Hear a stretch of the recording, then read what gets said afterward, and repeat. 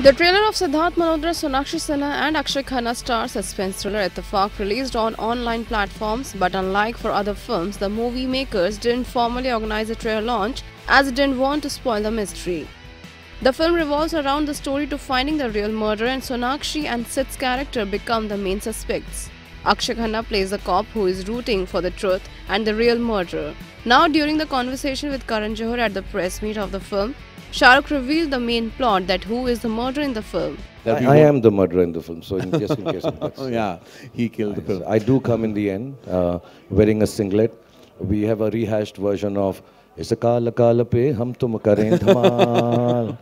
that's and, all uh, we need. And that's it. That's and all we need I'm to make this yeah. film a memorable experience at the end of it all. No, so what we did is we actually protected the film for its in terms of like not revealing much, which is why we took this stand of not going out there and promoting it with the actors and leaving them on their own because you never know. And, and those actors saying. who are speaking a lot and backstage right now. Yes, right now. Shh.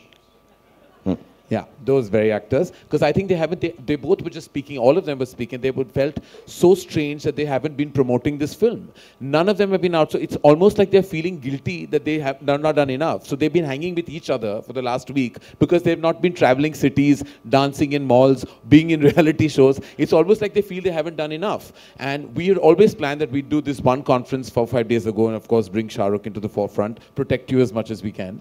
And uh, now that you've announced you're the killer, we haven't really done a great job of protecting you.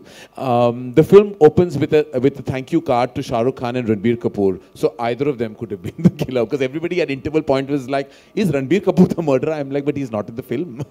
so how will he be the murderer?" Now, when the film is just two days away from its release, the producers Shah Rukh Khan and Karan Johar organized a press conference with its whole star cast.